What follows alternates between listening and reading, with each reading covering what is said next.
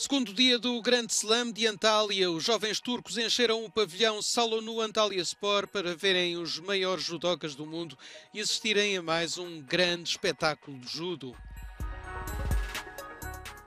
Nos menos de 63 quilos em femininos, a brasileira Caitlin Quadros, medalhista de bronze nos Jogos Olímpicos de 2008, provou que ainda está entre as melhores ao vencer por Ipon a israelita Inbal Shemesh, quando faltava um segundo para o final do combate. Uma vitória que a brasileira festejou entusiasticamente com as crianças presentes. Moshe Ponti, presidente da Associação Israelita de Judo, entregou as medalhas. Nos menos de 73 quilos em masculinos, o italiano Manuel Lombardo enfrentou na final o atual campeão do mundo, Tsendoshir Tsotabatar da Mongólia, e conseguiu levar a melhor. Recebeu a medalha das mãos de Mohamed Mirija, diretor de Educação e Treino da Federação Internacional de Judo. Nos menos de 70 quilos em femininos, outra campeã do mundo, a croata Bárbara Matic, esperava vencer, mas enfrentou uma forte adversária, a japonesa Saki Nizoe.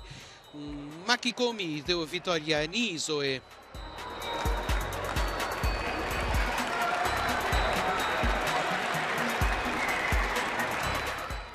Recebeu a medalha de Vladimir Barta, diretor desportivo principal da FIS. Disse a judoca japonesa Bárbara Matic é uma adversária muito forte e foi uma batalha difícil. Fiquei muito feliz por lutar contra ela.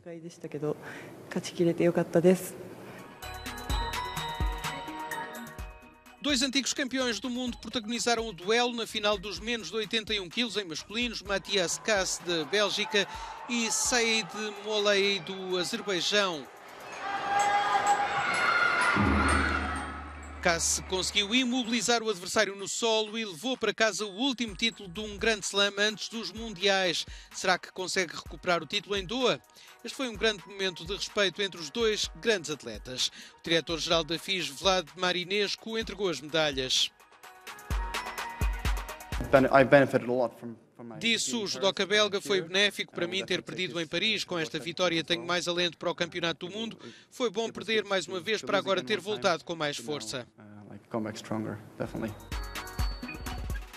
Com tantos jovens judocas a apoiar os atletas da casa, os turcos não deixaram os créditos por mãos alheias e exibiram um bom judo neste segundo dia. Marcamos encontro para a terceira e última jornada domingo com as categorias mais pesadas.